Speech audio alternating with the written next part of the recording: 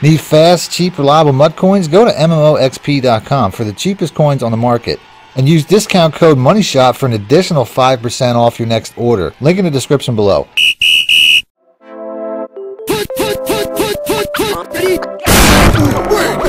Welcome back, YouTubers and Madden fans. This is Madden Money Shot, sniffing out the Madden cheese as always. Got a run scheme for you guys today. This is a run scheme that has been my go-to run scheme for a couple of weeks now. I'm using the Packers playbook. If you guys don't know, that's my favorite playbook right now. But this is also going to be in the Titans. It's a super rare formation. I think it's only in those two playbooks as far as I know. And it's the single back doubles wide off. This might be a new formation in Madden 21. I don't know if it was in Madden 20 or not.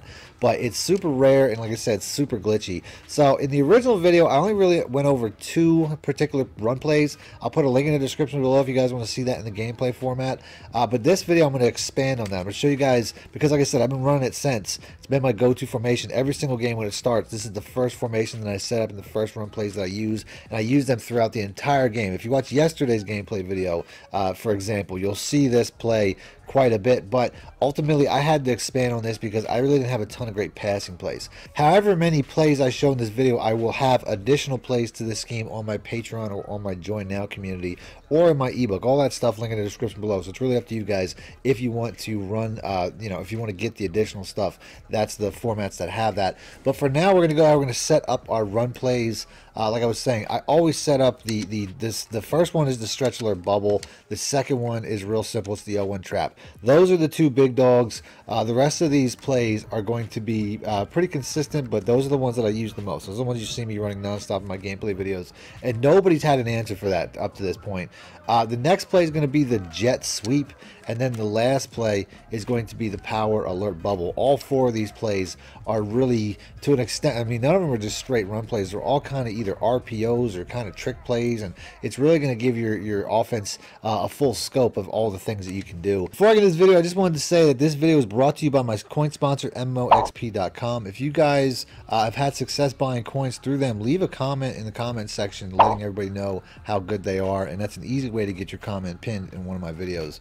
Uh, if you guys support them, you're supporting me. So if you want to support this channel in any way other than likes, shares, and comments and stuff like that, which I also am going to ask for right now, um, that's a good way to do that. And like I said, if you buy your coins through them and use my discount code, uh, they'll continue to support me. So I really appreciate all the, the love you guys give me. So let's go and let's get right into the reads. This first play is going to be a really simple read uh, when it comes to what I'm looking at. Like I said, these are the two big plays. The stretch alert bubble, the 0-1 trap. These are the two plays that I use the most, and it's a single read play. On a, on a defense like this, I could really run either one, but the best read is going to be the 0-1 trap.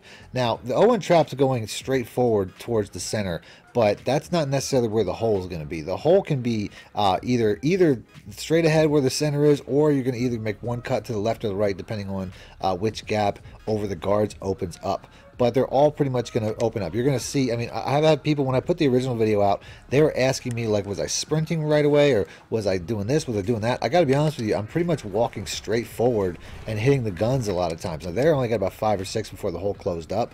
So now we have a defensive look without a doubt. I mean, this is only the second play. I'm glad I ran into this. This is something when you have a spaced, evenly stacked alignment like that, like a five, like a five defensive look like this in the box. Um, typically, a three five like this will give this particular series problems. But there's a good solution for that, and that's the jet sweep. So this is what was not in my original video. This is probably the best uh, answer for something like this, for a defense like this, like a 3-3-5 or a 3-2-6 uh, double A gap, stuff like that, that really packs the box. Neither one of these plays really works too well, but the sweep does. So we're going to go, we're going to pick that. Like I said, I didn't expect to go over this so soon, but you can see how it just goes right outside of all the garbage. So there's no real, um, you know, answer for this scheme. So I didn't anticipate using the sweep so soon, but you can see once again we have another stacked box look. So this is a scenario where once again uh, I think the best option is going to be to run this sweep. Now if this guy gets off the edge free it's a completely different story. But you can see when you combine these three concepts there's really going to be nothing that can stop this. So once again I mean, we're getting a lot of looks like this. Um, this is not necessarily something like I said I can run the 0-1 trap. I will run it again. The 0-1 trap can have success but like I said I've noticed that this particular defensive look really bottles this up. So you see right there not having it but like I said, without a doubt, the top three plays now are these three plays. So here we have another look where we kind of have something favoring uh, the, the trap, which like I said, is probably the best play. The stretch is a very good play, but you can see how the gaps just open up and you just have a monstrous lane right over the middle. So it's like I said, it's a really simple read. If you have spacing, if you have wide gaps, uh, in the middle of the of the defense like you don't have here, the 0 trap is going to be the look. There's no gaps here. The stretch alert bubble's not going to be a good look on a play like this. Once again, we got the jet sweep. This is the type of defensive front where the jet sweep is going to have the most success. Uh, and then trying to take it outside. I mean, you can see I don't have necessarily the fastest guy out here. They really only have one great receiver in Green Bay, but you can see we're having a lot of success. The last look, which I'm not really getting the look that I want, so I'm just going to run it, is the stretch alert bubble. The stretch alert bubble is really best uh, if this defensive lineman outside of Lewis here is a little bit closer in, but I'm not getting that look, so I'm just going to run it. And then, like I said, you can have a lot of success. These stretch plays, they're not really dead. They just don't work to the outside as well as they have in the past. Um, that's the only thing. You can still run it, uh, but this is not really, like I said, I'm not really getting the defensive alignment that I want. So I'm just going to go ahead and run it a couple times. You can see if that tight end gets a good block, you can still have success. You're just not getting past the cornerbacks. That's the thing when it comes to this patch.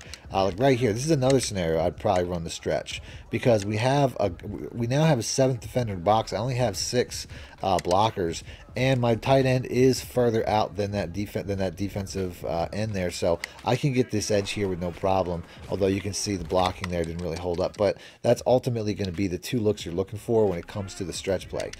So here we got double blitzing safety. This is another look where you want to use a stretch alert bubble. I've noticed that when you have aggressive, uh, you know, pressed or blitzing uh, defenders, like like a real stacked box, a lot of times the stretch will just get outside of it.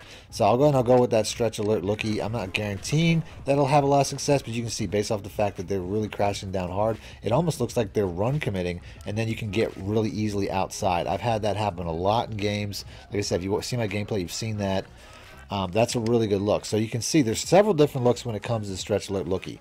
So going over the reads really quickly just to make sure that I'm, I'm as concise and clear as possible. Uh, when it comes to the 0-1 trap, that's probably the easiest one. The 0-1 trap, uh, you really only do the 0-1 trap when it comes to, um, you want to, if you have gaps. If you have a spread defensive alignment with multiple gaps and no more than six, or six box defenders because you have six blockers. If you have seven box defenders, you can't run that play. If you have an overly aggressive blitz, the stretch alert looky is going to be the way. Uh, but once again, a, a concise, packed uh, defensive alignment like this can't really have success when it comes to stretch alert bubble. If you have a packed box like this with no real gaps, the jet sweep is going to be the best way to go. So those are your three plays that you're going to want to run the most, and those are going to be the three plays um, that you use uh, the most consistently. And this is, you know, you can see how if you if you go off this read, it's really easy to run these three plays.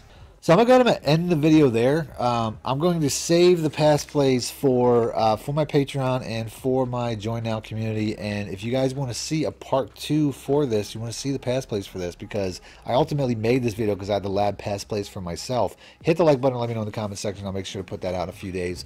Other than that, thanks for watching, man. Wish it out. Need more help or just want to show your support? Then head over to my Patreon and join my team, where you can get exclusive content like ebooks and bonus plays, as well as early access to my vids and more. Link in the description below.